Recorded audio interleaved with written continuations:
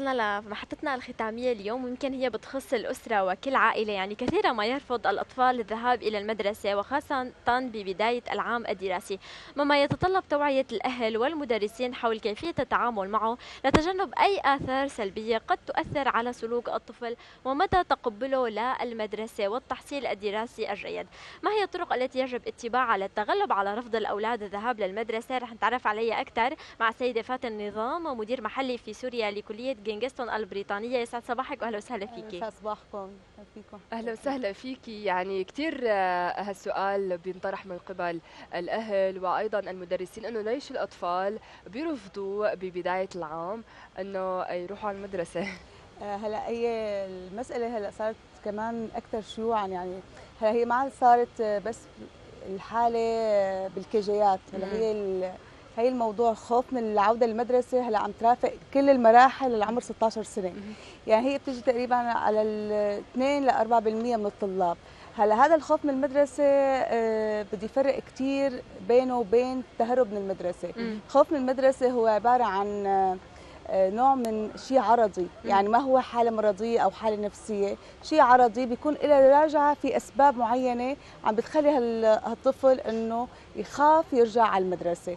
هلا إذا حكينا على الكجيات الصغار آه، ليش بخافوا يروحوا على المدرسة؟ آه، عدة أسباب وعدة قصص ونحن بنشوفهم تبع بكا و كل ما بيحبوا يفرقوا أمهاتهم. تماما وبشدوا بثياب امهم وأبوهم لا ما بدنا نروح إنه كأنه رايحين على شيء خطير جدا. هلا الأمور الثانية اللي هي عندنا إياها اسمها الرهاب الاجتماعي اللي هو عبارة عن انتقال من المرحلة الابتدائية للإعدادية الإعدادية للثانوية. وهلأ كتران بالفترة هو انتقال الطلاب من مدرسة لمدرسة. يعني هو عم يرجع مثلا السكن عم يتغير الوظائف الأهل. هي كثير بتأثر على نفسية هي كثير بتأثر لأنك يعني. أنت طالب مثلا خصوصي وقت تكون أنت قطعت المرحلة الابتدائية صار في نوع من المراهقة. فالإعداد بيتعرفوا على عالم جداد. رفقات الجيل بدي أفتح مرة ثانية وكمان في عنا الأصدقاء القدماء بصيروا عاملين مثل كل واحد شلة وهيك قصص فانه وين جاي أنت جديد وهيك. فهذا بيلاقي في خوف بالرجع للمدرسة أه. طيب يعني هون كيف للأهل يمكن أنه يتعاملوا مع أطفالهم؟ حسب كل شخصية طفل لحتى يتهيئوا للمدرسة ويدخلوا يمكن بلا هالخوف أو الرهاب أو أكثر من حالة. هلأ أنا أكثر من قصة يعني هلأ مو بس الأهل بدهم يشتغلوا على الطفل يعني حتى الكادر التعليمي. نعم. يعني هلأ مثلا بالنسبة للأهل أنا مثلا لازم الأم تبلش هي تدخله بجو المدرسة. يعني قبل 15 يوم يصير يمرقوا مثلا قدام المدرسة إنه هي مدرستك كذا لأن وتعمل حركات لو مثلا يلا باي مدرسة كذا يلا بكرة بدنا نجي. الولد والأم كثير في عنا علاقة تعلق. فهنا نحن الطفل إنه والله بدي أبعد عن أمي هي شيء كثير خطير. يعني إنه بركي من نوع حتى إنه البعد عن الأم خوف عليها إنه بركي صار لك شيء بركي كذا إنه أنا بحميكي. آه فهي من نوع هي الأسباب. إذا بنرجع مثلا إنه تروحي أنت على الكادر التعليمي تساليه مثلا بركي الطفل مثلا عم بيعاني كان من معلمته كانت عصبية أو مثلا له وضع خاص مثلا عم بخاف فهي لازم تدرس إنه مثلا لا بدي احطه عند معلمة هادية وخصوصا بالكيجيات. يعني أنا رسالة لكل المعلمات يعني الكيجيات بدهم يتغير البيت بيت حنان لبيت حنان ثاني ما بدها عصبية وهيك هاي. الأمور هي كل ما كانت المعلمة أروى كل ما كان أفضل. والشخصيات بترجع عدة قصص وعدة مواضيع. نعم يعني آه، كل شخصية لها علاجها المناسب. يعني في أطفال يمكن عندهم عند زايد. مم. أوقات الأهل بيستمعوا لأطفالهم بيمشوا معهم. هلأ هون كيف لازم بقى يتبعوا الأهل طرق تساعدهم أكثر لحتى يخففوا هالعند عند أطفالهم وإنه يروحوا على المدرسة بدون أي مشاكل أنا بالنسبة لأنه الأهل يتماشوا مع عند الأطفال لا أبدا يعني هلا مثلا أخذت الطفل عمره بالكي جي 1 أو الكي جي 2 على المدرسة بلش يبكي بلش إنه يشد الثياب يعيط هالقصص. أنا هون بقول للأم إنه أنت رجعي شوي لورا خلي المعلمة بطريقتها بأسلوبها هي تسحبه لجوا. آه كلمة إنه يرجع مع أهله على المدرسة هي من أسوأ شيء. البيت. خلص اتركي اتركي بكي أنت خليكي مراقبتيه من بعيد. إنه شوفي إنه عم يبكي كذا بعدين هو هالمشاعر الغضب اللي كان طالع عنده لحالها بتهدى بس يشوف رفقاته المعلمة مثلا يلا بلشوا نشتغل كذا فبتبلش تهدى. أما الام اللي بدك مثل نوع إنه تتشاطر وابني وكذا كان حدا حيخطف لها إياه. فإنه لا حاولي قدر الإمكان بعد شوي عنه آه، روحي على البيت. لأن إذا رجع الولد على البيت وبلش هو يلعب بالبيت فاوعك تفكري بقى معناته انت عززتي له رفضه ليروح يرجع على المدرسة. يمكن هون بيكون خلص معناته انت مزبوط أنا حكي وحضلني بالبيت. هذا الطفل الطفل العنيد. العنيد باخده أنا إنه شوف إخواتك بعمل له مثل نوع آه، مثل مقارنه شوف إخواتك شلون صار وشلون كذا لأنه هو عنده آه، رأيه كثير متيبس فيه وهيك. فأنا بحاول المقارنة بخفف من عنده بهالأسلوب. أه بعطيه نوع بعمل اتفاق. إذا ليك إذا رحت وكذا باخذك مشوار باخذك على المول بنلعب سوا هيك. فبهالمقاييس بنشتغل على نعم. الطفل العنيد. يعني مهم ما نستسلم لرأي الطفل مشان ما يقول إنه أنا اللي حققت اللي بدي لا مجرد ما استسلمتي خلص راحت على الولد طيب بتنسحبي انت بعد دورات صيفية؟ إذا طلعنا من عمر الصغير طلعنا يعني بلشنا بالعمر الأعدادي أو حتى بالابتدائي بس مراحل متقدمة تنسحب اقامه دورات صيفيه للطفل لحتى دائما يضل متعود إنه هو عم يطلع برا البيت لجو مدرسة ودراسة وأطفال ورفقات.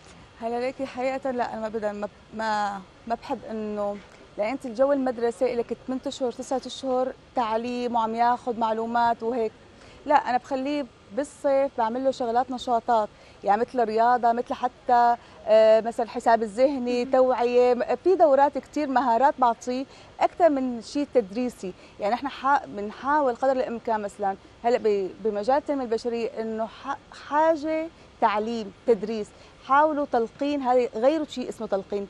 بلشوا الولد تشركوه بألعابكم بالمعلومات اللي أنتم عم تعطوها. نشاطات تفاعلية. نشاطات تفاعلية لأن أنت كل ما أنت إنه عم علمك كذا خلص معناتها أنا قاعدة بس عم بستقبل وعم عبي معلومات. لا أنا مثلا بمرحلة مثلا البكالوريا التاسع إذا في عندهم مواد مثلا ضعاف فيها إيه، ندخل دورة تعليمية.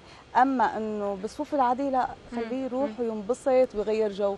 هلا هون كمان قديش كثير مهم يكون في تواصل بين الأهل والمدرسين لحتى يمكن الأهل يعطوا فكرة شوي عن طبيعة طفلهم ويمكن الأشياء اللي متعود عليها وشخصيته. بنفس الوقت ممكن كمان يكون في ردة فعل من آه، لحتى الأهل يقدروا يتعاملوا مع طفلهم بالبيت كمان ولحتى يكون في أكثر نجاح للعملية التعليمية. هلأ هي هي كثير مهمة آه، هلأ حاليا.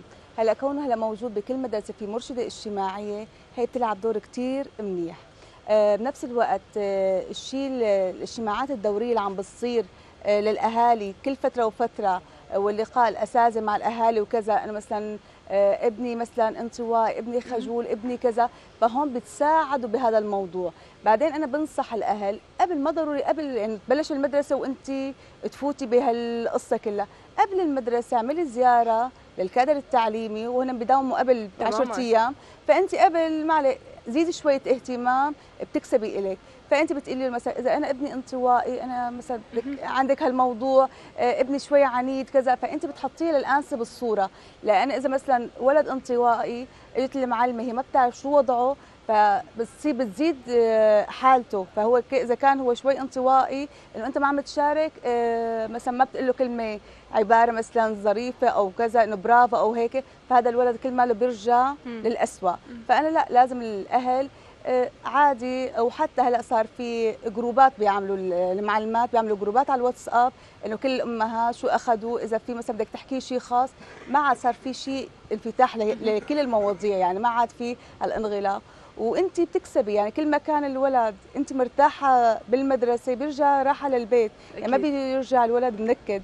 يعني آه، حكينا كمان عن دور المعلمين ومثل ما ذكرتي بالبدايه إنه أحيانا بيكون الطالب يخاف من معلمته يمكن كرهته الصف كرهته المدرسة.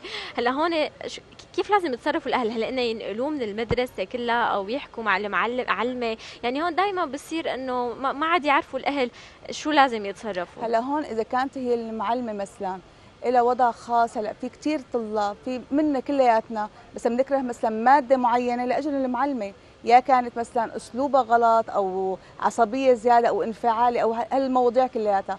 أنا لا إذا مستقبل ابني هذا يعني مو إنه مو لعبة فأنا لا بنقله مش شعبي إذا هي الانسه مثلا هي الأنسة اللي بتحط مثلا بالشعبة الأولى كل الصفوف لا أنا بنقله على الشعبة الثانية إذا أنا مرتاحة بالمدرسة. أما إذا لقيت أنا ما في تعاون بالمدرسة معي لا أنا بنقله لابني لأنه أنا بدي خليه يستمر وبدي إياه يجيب نتائج عالية. فأنا لا ابنه حكيتي مع المعلمه المعلمة قد ما غيرت طبعه ما بتقدر يعني ما حتغير كل شيء. يعني يمكن تخفف لك شوي عصبية يمكن إنه مثلا تعطيه شوية آه، مثل ما بقولوا كلمتين حلوين بس ما حتغير كل أمورها المعلمه كمان في بعض الأمهات وخاصة أولادهم اللي أول مرة بيتركوهم وبيروحوا آه، على المدرسة آه، بيكون في عندهم هن حساسية كمان وخوف على طفلهم زائد يعني بيكون إنه الأم هي اللي مو حابه تترك ابنها يروح مو بس الطفل مو حابب يروحون كمان كيف شو النصائح بتوجهيها للأمهات يلي بيصير عندهم هيك حالات؟ يعني هلا هي الأم والطفل في نوع من العلاقة إنه هي بتخاف عليه كثير وهو نفس الشيء.